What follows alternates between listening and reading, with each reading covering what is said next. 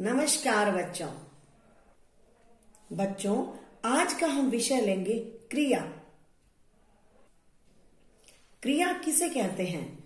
जिन शब्दों से किसी काम के करने या होने का बोध हो, उसे क्रिया कहते हैं। जैसे, मीना बच्चे को पढ़ाती है, रीना गाना गा रही है, इन दोनों वाक्यों में पढ़ाती है, गा रही है, क्रियाएँ हैं। क्रिया के दो भेद हैं सकर्मक क्रिया अकर्मक क्रिया सकर्मक क्रिया सकर्मक क्रिया किसे कहते हैं? जिन वाक्यों में क्रिया का कर्म हो, उन्हें स्कर्मक क्रिया कहते हैं।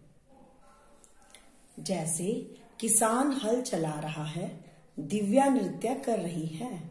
इसमें किसान और दिव्या करता है, हल और नृत्य कर्म है चला रहा है और कर रही है क्रिया है। बच्चों, इसमें हल और नृत्य कर्म है, इसलिए इसे सकर्म क्रिया कहते हैं।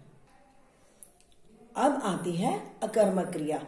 अकर्म क्रिया किसे कहते हैं? जिन वाक्यों में क्रिया के साथ कर्म नहीं होता, उसे अकर्मक क्रिया कहते हैं।